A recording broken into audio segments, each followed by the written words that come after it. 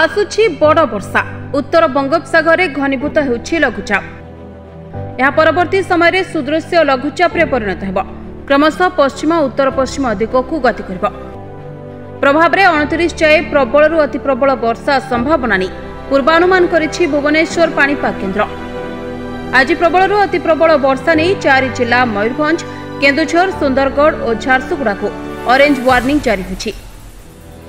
ସେହିପରି ପ୍ରବଳ ବର୍ଷା ପାଇଁ ଚଉଦ ଜିଲ୍ଲାକୁ ୟେଲୋ ୱାର୍ଣ୍ଣିଂ ଜାରି ହୋଇଛି। ସତେଇଶ ତାରିଖରେ ରାଜ୍ୟରେ ହାଲୁକାରୁ ମଧ୍ୟମ ଧରଣର ବର୍ଷାର ସମ୍ଭାବନା ରହିଛି। ଅଠେଇଶ ତାରିଖରୁ ପୁଣି ବଢ଼ିବ ବର୍ଷାର ପରିମାଣ। ବର୍ଷା ପ୍ରଭାବରେ ବିଭିନ୍ନ ସ୍ଥାନରେ ଜଳବନ୍ଦୀ ସମସ୍ୟା ସହ କଚ୍ଚା ରାସ୍ତା ନଷ୍ଟ ହେବାର ଆଶଙ୍କା ରହିଛି। ତେଣୁ ସହରାଞ୍ଚଳରେ ଜଳ ନିଷ୍କାସନ ବ୍ୟବସ୍ଥାକୁ ଠିକ୍ କରିବା ସହ ଆବଶ୍ୟକୀୟ ପଦକ୍ଷେପ ଗ୍ରହଣ କରିବାକୁ ଏସ୍ଆର୍ସିଙ୍କ ପକ୍ଷରୁ ଜିଲ୍ଲାପାଳମାନଙ୍କୁ ପରାମର୍ଶ ଦିଆଯାଇଛି।